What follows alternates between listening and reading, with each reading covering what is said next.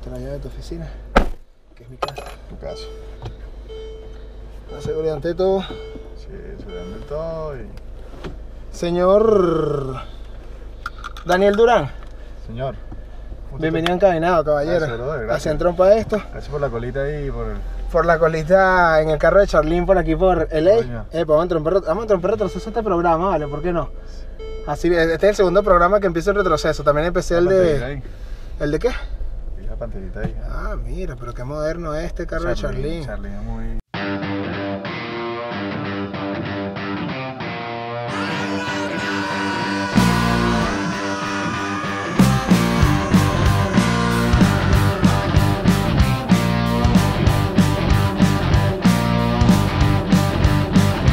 Estamos en North Hollywood. North Hollywood. Hollywood del Norte. ¿Hace cuánto tiempo te viniste para Los Ángeles? no?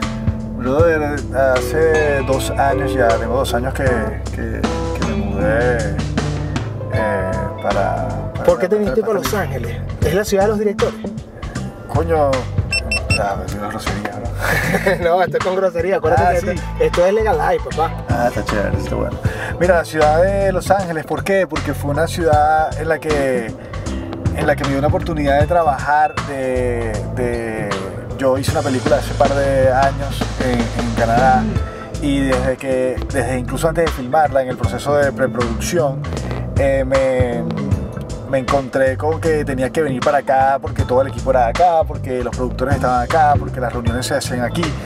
Y al principio era como que, bueno, viajo de Miami, me vengo acá, me reúno, me devuelvo, ¿no? Eh, después de la película tuve que editar acá y pasar mucho tiempo acá. ¿Cómo se llama la película? Se llama Brave Town. ¿Hay algo por ahí de la película en YouTube o algo así? Eh, ya, sí, estamos justo esta semana, empezamos la... Ah, esa es la película la que me, la que me enseñaste los trailers. la que te enseñé el trailer. Bueno, entonces vamos a empezar este programa, como empezamos para atrás, vamos a empezar este programa atrás para adelante. En vez de empezar con el principio de su historia, aquí en el encaminado desde Los Ángeles, en Hollywood, esto es lo primero que van a ver Daniel Durán para que las personas que no sepan quién es, sepan más o menos lo que hace este pana. ¡Chas! Trailer de la película. Así. Mr. Harvest, this court has decided you will have to submit to professional counseling. Failure to comply will result in your arrest. Given that you are still a minor, your father has agreed to look after you. Is that understood? Yes, Your Honor. Welcome. What would you like to talk about? Being here is completely unnecessary. What if your being here is necessary for others? Nobody's ever been there for me. Why would I be there for anybody else? Hey, what's up? I'm Tony. You like dancing? My sister's the dance team captain. You should come check them out sometime. They're not very good, though. I think there's a reason why you won't get close to anybody. What happened with your mother back home? You want to hear about selfish? I didn't even want to have you. I always knew I didn't matter to her. Josh, it isn't your fault. You gotta understand that, man. Is it true that you DJ'd for the dance team the other night? Yeah, yeah, I did. Why did you do that? Everyone is making fun of them. But you mind if I step in real quick? Just sad, man. Why would you do that if nobody's ever done anything for you? You know, I liked it better when you were smiling. Do you want to see something interesting? Yeah. Those medals? Yeah. What do you know about the people here? I know everyone's lost someone to war, but no one ever wants to talk about it. Is that one of your friends? Yeah. You lose them in the war? People here like to pretend their loved ones are still alive. I'm going through all these photos of Mary's brother. Here he is, his best friend. He promised he would take That man is a liar. He took Robert away from us. You have no clue. Why would you promise to protect somebody when you know you can't keep that? I have to live with that. I'm not gonna give up on us so easily. I'm really glad you're here. Let's give this town something to talk about.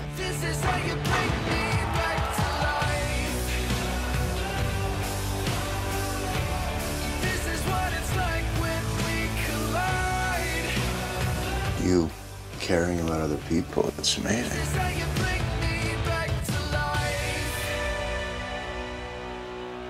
Mira, Daniel, felicitaciones por esos trailers de esa película. Gracias, yo creo, no estamos seguros, pero yo creo que eres el primer venezolano que ha hecho una película en Hollywood, eh, editada aquí en Hollywood. Brother, no he hecho ese estudio, ¿sabes? No he hecho ese research de, de- de ver si es así. No he escuchado de otro que haya hecho, por lo menos, creo que soy el primero en dirigir a una actriz dos veces nominada al Oscar como Laura Dern. que la vieron en el trailer, o, o actores de ese calibre, sí creo que El son- muchacho de la película también tuvo unas participaciones interesantes en otras películas, ¿verdad? Sí, bueno, varios de ellos. O sea, eh, Lucas Steele, eh, el protagonista, él es, no sé si viste X-Men First Class y la X-Men, la última que salió, que no me acuerdo el nombre que, eh, de la última, la última X-Men que salió. Él, él es uno de, los de, los de los X-Men. Eh, también ha hecho películas como Hannah Montana eh, con Miley Cyrus, eh, Hannah Montana Movie, eh, Walk the Line, que es la, que es la película de Johnny Cash. Ok. Él estuvo en- él me ha hecho muchas, muchas, muchas películas.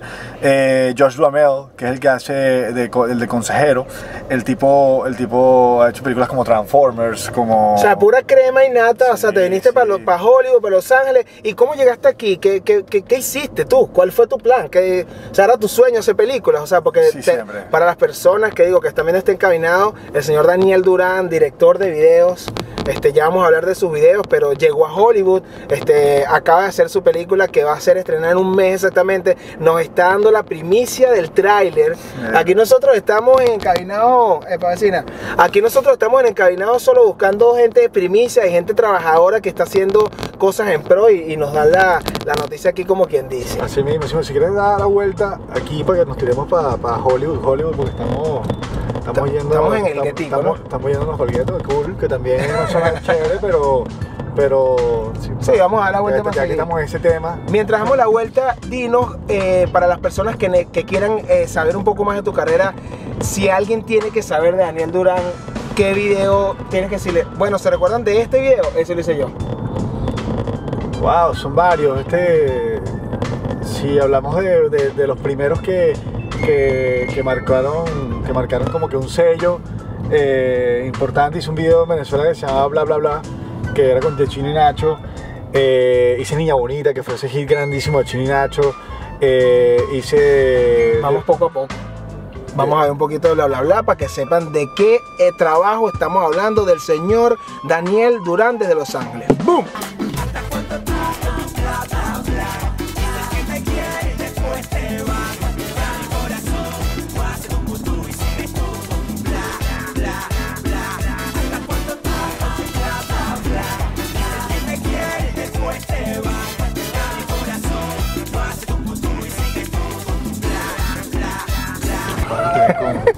No, que aquí los pacos no perdonan, bueno, Los Ángeles, No, no, allá. pero es que me da risa porque es que todo, generalmente todo el mundo que se monta en encabinado lo- los asustan, weón. Es que yo no manejo muy bien, weón, ¿oíste? Ah. De verdad, weón. Para empezar. Para empezar, yo no manejo muy bien. No sé por qué me. O sea, no sé por qué se me ocurrió hacer el programa en un carro, porque también lo puedo haber hecho en una silla, ¿entiendes? Y Claro. ya, y borro, decir, Claro. y nadie corre riesgo. De- el otro día también me estuvieron diciendo, no, que ese programa que haces tú es copia de un programa que se llama The Box y no sé qué. No, ese man que hace el, el pana de Cypress, que hace el programa, fuma en el carro, pero no mueve en el carro. ¿entiendes? Ah, o sea, ok. aquí la cuestión es esta, ¿eh? El, el riesgo. Claro, el claro. riesgo de la vida de la, de la persona que está aquí al lado.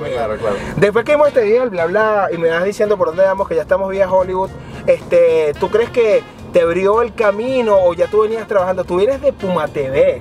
O sea, Claro. tú eres del rap, porque Claro. tú, el primer, si no, me- a la derecha. No, derecho. Si yo no me equivoco, el primer programa de rap que se hizo en Venezuela en el canal Puma TV lo hizo este caballero que está aquí, se llama Rap and Jan, Rap que and él dijo que no había nada en YouTube, pero yo sé que vamos a buscar algo de Rap and Jan en YouTube y lo vamos a poner ahorita para que ustedes vean de dónde viene este man, amigo de Bosta, amigo de Russomán, eh, conectado con la corte, con doble filo, con hijos de la calle, con A punto 5. Esa es tu generación y tu época. Claro, está diciendo viejo, bro. No, no, bueno. se, se te cayó la cédula a ti solo, pues. Pero escúchame, después que haces todo eso con esta gente, eh, tu primer video grande se puede decir que fue el bla bla. No, no, no. Yo hice, yo trabajé con Ricky Martin primero. Ok, también Eh, hiciste su DVD, ¿no? Hice todo lo que fue el, el, el behind the scenes documental de, de la gira Black and, Tour- Black, Black and White Tour de él. Eh, después hice Gilberto Santa Rosa con todo regresivo. Yo como que empecé trabajando internacionalmente y después volví a Venezuela a hacer cosas. Ok. Entonces, eh, ese video de conteo regresivo fue número uno en los charts latinoamericanos. quién? El- de Gilberto Santa Rosa. Conteo regresivo. Conteo regresivo. Dirigido por ti. Dirigido por mí. Vamos a ver el conteo regresivo. Esto va a ser Esto es un picadito de puro video, porque este man me dijo No te que. la puerta del. ¿Cuánto? Cálmate, Ariel, cálmate. Escúchame, ¿cuántos videos has hecho en tu carrera? No sabes más o menos, tiene no un número. No sé, pero. 50, 70, yo 80. Creo que más, por ahí. 100. Más de eso, sí. está- El hombre de los 100 videos, vale, vamos con conteo regresivo de Viento Santa Rosa, rescate que estoy encadenado. Uf. Aquí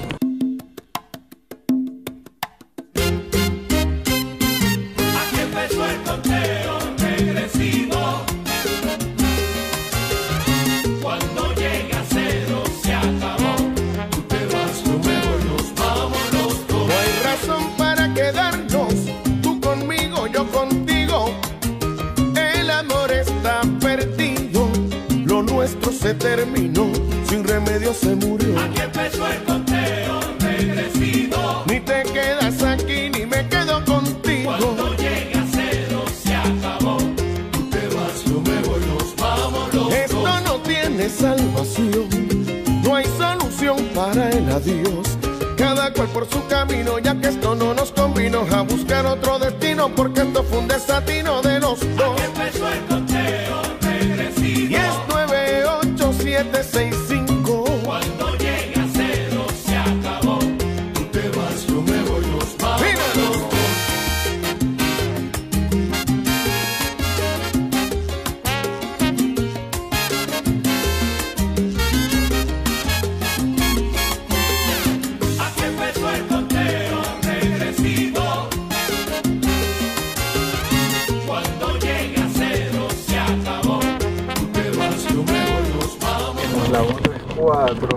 ¿Cómo será para el este, weón? Sí, para allá. Dale. Dale. Dale a Dale dónde. para allá, aquí. ¿A la izquierda? Sí, métete en la autopista, así para allá. Eh, el 134, métete en esa que dice. No, Pasadena no es, weón. Estamos esperando bola. ¿Sabes qué es la 101? No. Dale allá en el 01 West. Son cosas mías, está haciendo calor. Haciendo calor. Es- Acondicionado y bórralo. Este, después que vimos este video del señor Gilberto Santa Rosa, trabajaste con Ricky Martin, trabajaste con Gilberto Santa Rosa antes de que fuera famoso en Venezuela. Porque te hiciste famoso con, en Venezuela con estos videos, pero Ah, ya tenías. que yo era- yo era- Trabajaste con Gilberto Santa Rosa. Y antes que Ricky Martin que fueran famosos, no, ya eran famosos. No, no, no, no, tú, tú. Yo entendí, entendí, entendí. Es que eso no como... Y coño, no, no, tampoco así. Ya me así. viejo así con, con esos panas, no me vas a decir que era antes que Gilberto Santa ¿Cómo Rosa fuera llegaste, famoso. ¿Cómo llegaste a trabajar con Gilberto Santa Rosa? Bueno, fue a raíz de, de- lo que trabajé con Ricky. eh, como era la misma disquera, era Sony. Sony, me, eso fue como que terminé en septiembre la gira de, Black and White Tour. Y en octubre me estaban diciendo para hacer el video de Gilberto. Era la primera vez que yo escribía, porque como funcionan las disqueras es que tú, tú te dicen, mira, tenemos, tenemos un, una canción, esta es la canción, y queremos que, que haga, que, que escribas una idea para este video y escriben varios directores. Pero tú trabajabas para Sony como No, tal. no, no. Sony contrata, So- So- Sony tiene un artista y el artista tiene que hacer un video. Llaman a diferentes directores para acá. Llaman a diferentes directores y estos directores tienen que escribir ideas para, entre esas ideas, la que más guste, Licitan. básicamente. Es una licitación. Básicamente. Entonces, por petición. O sea, por te la piden. Una, una licitación eh, pedida. pedida. Entonces tú escribes y, y si el artista y la disquera se sienten cómodos con ese, con ese tratamiento que estás mandando, con ese guion, eh, te dan el trabajo. Y, para, y yo lo que menos esperaba que el primer tratamiento que yo escribiera, me lo iban a dar. Ahorita me das tu correo para ver si te mando con las licitaciones. Dale, chico. Pe- pe- de bendición. Me dicho que tú haces... sí, dicen, pues. Pero en fin, Un escúchame. momentico. ¿Qué pasó? Que la llave de este carro ¿dónde está? ¿Por qué? Si no tenemos la llave, se apaga. Se va a apagar el carro. En cualquier momento. Hay que aumentarle para allá. ¿De verdad? Sí. Ese que sonó fue, ey, ¿estás robando sin la llave? Sí. Wow. Escúchame, bueno, mientras se para el carro, bueno, si se para el carro, hacemos el programa como de box, parado. Parado, Y ya, claro. listo. Escúchame, Daniel, este. Escúchame, trabajaste con estos manes y ahora después hiciste el bla bla. Y después de eso, ¿qué fue lo que vino? ¿Cuáles fueron los videos que, que siguieron repuntando en Venezuela? Bueno, hice el hacha de, de Franco Oscarcito en A esa ti época. te va a caer el Hice... Un great hit de, de canción y de video, Sí, marcó una sí, temporada, ¿no? una temporada. Amigo de Franco y Oscarcito. Amigo toda la vida, sí, amigo toda la vida, grandes panas. Panas que creyeron siempre en mí. De hecho, fue los primeros con los que trabajé después de volver a Venezuela. ¿Ustedes han visto el video del hacha? ¿No? Sí, capaz, quién sabe. Vamos a verlo para que, para que sepan un clásico venezolano de un great hit que se pegó allá con el partner eh, Franco y el Oscarcito. Rescata. ¡Boom!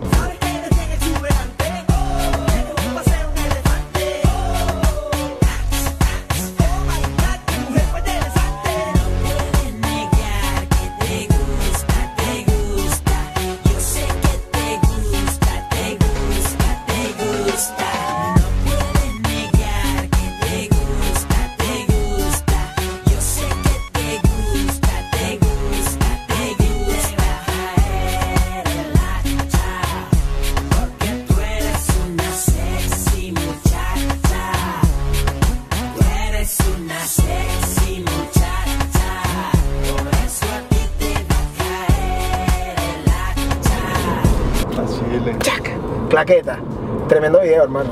Está bueno, ¿no? Te lanzaste, te la creaste. Está viejo, pero está Te- bueno. está viejo, pero está- y, se- y los vestiste de, de detectives y tal. Sí, nos tiramos una de. Eres de conceptual comedia, en de tus comedia. videos, eres conceptual en Sí, tu video. Bueno, sí. eh, no sé si he perdido algo de eso. Antes me tripeaba mucho más crear una- un concepto y manejaba mucho más la comedia que hoy en día. No sé si Ahora vas para el performance de una vez. Ahora- Baile y, y buena fotografía. Y... Depende, depende. No, hay, creo, creo que sigo manteniendo. Depende del artista. Depende del artista quiera. Depende. o sea, creo que ahorita escucho más al artista que antes. Lo que él quiera. Sí, antes era más, más caprichoso en que era mi concepto y lo que yo quería y si no, y si no es lo que yo quería, tal vez no trabajaba contigo. Hoy en día creo que, que tengo la apertura y la madurez, digámoslo así, de, de- de entender lo que necesita la otra persona y no necesariamente plasmar mi visión como director. ¿Y no te parece que tú llegaste hasta aquí con tu visión y ahorita darle la libertad al artista hace que se convierta solamente en un trabajo y no en seguir tus escalones de lo que tú, porque capaz la gente llega a ti porque quiere hacer algo de tu criterio. Sí, pero es que creo que es imposible separarme de mí. Yo soy yo, igual, yo estoy ahí, estoy filmando. Yo creo que más es un tema de cómo colaborar con la etapa de la carrera del artista con mi visión. Entonces yo creo que eso, eso lo hace interesante porque antes era mucho más fácil, ¿sabes? Hacer lo que yo quiero que me da la gana y era como mi- mis reglas y, y el, no tener, el no tener ningún tipo de, de- de complicaciones o, o contraparte lo hacía muy sencillo. Hoy en día hay, hey, necesitamos, estamos en este momento de nuestra carrera. Claro. ¿Qué puedes aportar? ¿Te parece que ese es un trabajo del director?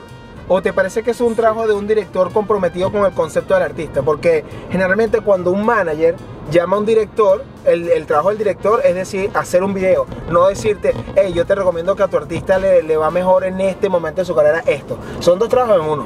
Yo creo que si te llaman para hacer un video, no puedes olvidarte que el video musical es una pieza promocional para el artista en ese momento, que básicamente es un comercial de una canción. Eso es lo que es el video. ¿Qué comercial de una canción, después de lo que me has comentado, te parece que ha sido efectivo? Que dice, mira, Couture, cuando yo hice este video para este artista, dio en el, en el punto.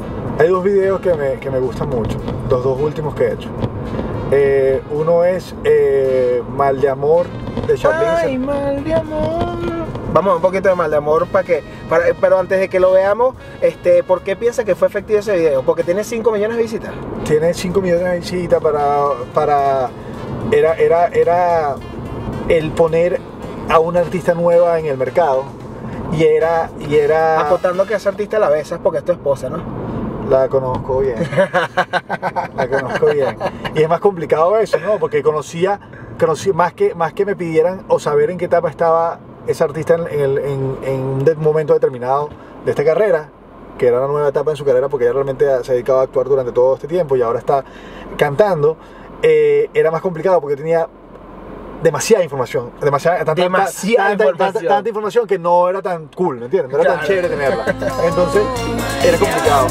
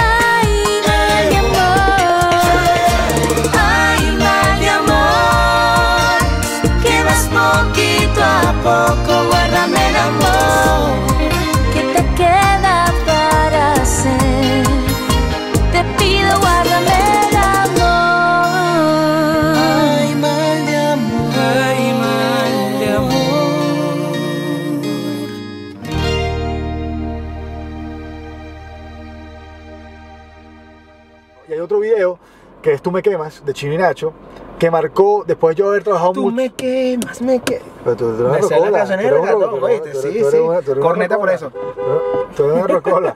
La tipa esa te está haciendo una señal con la mano. No, pero era aquí estamos reggaetoneando, señores, disculpe. Eh, la, eh, Tú me quemas marcó una etapa mía a mí misma de lo que yo había venido haciendo con un artista particular que era Chini Nacho durante muchos años, que tuve la oportunidad de trabajar con ellos 6, 7 videos antes, no recuerdo cuántos, y habíamos manejado un estilo bastante definido y como el romper y decir, crecimos, hemos madurado, hagamos algo diferente. Y tú me quemas también creo que, que tiene ese, ese, ese sabor, ese, distinto, ese rollo distinto que hace efectiva la pieza junto con la canción. Vamos a ver un poquito de Tú me quemas para ver qué es lo que tanto está hablando Daniel Durán de la efectividad. Chequemos ahí encabinado.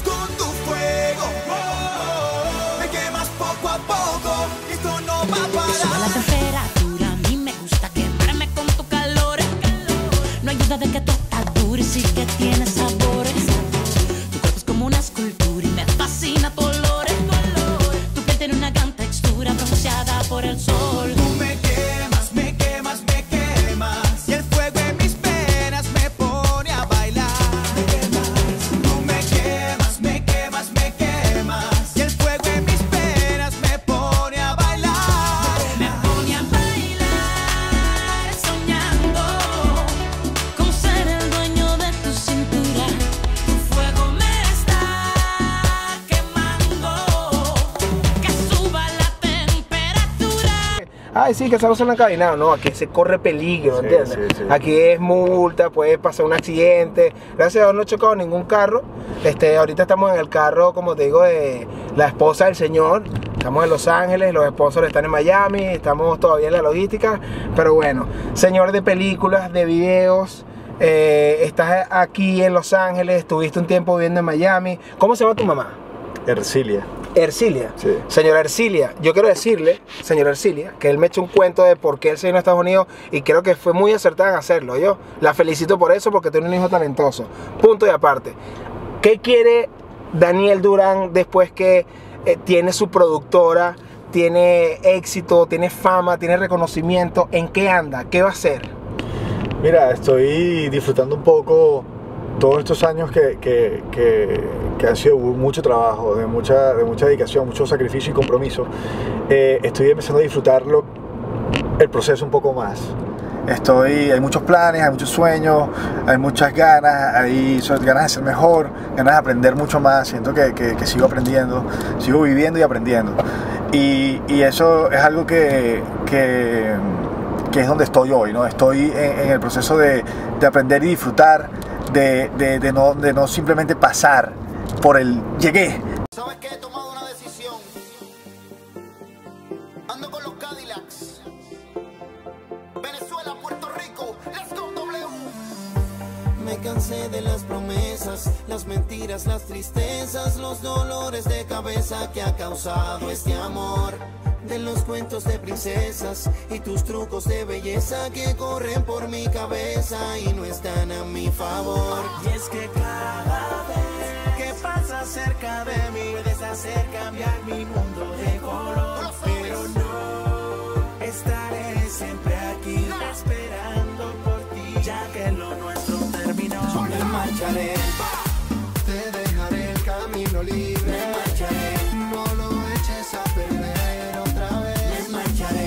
alguna, algunas palabras, señor Daniel, que digas para cerrar este encabinado, para la gente que está escuchando, un consejo como tal que tú le puedas dar a las personas que quieran luchar por, por lo que pueden hacer, aunque no sea un trabajo típico como tal, como ser director o como ser eh, montar bicicleta en los X Games o como ser un NBA. ¿Qué consejo le puedes dar a las personas que... El primer consejo que le voy a dar es que este programa Encabinados solamente tiene un- una, so- una sola persona que lo puede hacer. No manejen y tengan cinco cámaras al mismo tiempo. No hagan eso. Ese es el primer consejo.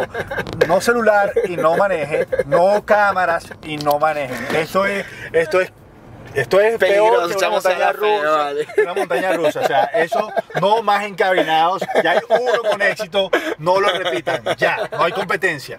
No quiero competencia por ahí. Por el resto, hablando en serio, es que, que la. Que es, es sencillo, yo, yo siempre que me hacen esta pregunta creo que repito lo mismo, pero, pero yo lo veo muy simple y la manera más simple de verlo es, es hagan Bien y no miren a quién. eso es Miguel Ángel Landa, brother, no tengo eso. Hagan algo por sus sueños, todos los días. Hagan algo por sus metas. Prepárense, estudien, trabajen. Eh, es lo más sencillo sin hacerle daño a nadie. Es lo único que yo les digo. Yo no he hecho nada diferente. Yo no soy extraterrestre. Yo me crié en Venezuela, estudié en el colegio en Venezuela. me- mi primer trabajo fue en Venezuela. Y simplemente tuve la oportunidad y las ganas de buscar algo diferente y lo, y lo he logrado. Entonces, creo que nos quedamos en la calle porque el Coturno agarró la llave del No carro. agarramos la llave y Pero, pero hagan algo por sus sueños todos los días, señores. Y este carro chiquiluki que prende con botón, no tenemos la llave, así nos despedimos porque se nos va a apagar el carro, señores. Este fue el encabinado de Daniel. Charlín, no nos diste la llave. Vamos por ti también por un encabinado en República Dominicana con Mozart La Para. Así que bueno, ya tú sabes. Nos vemos, señores.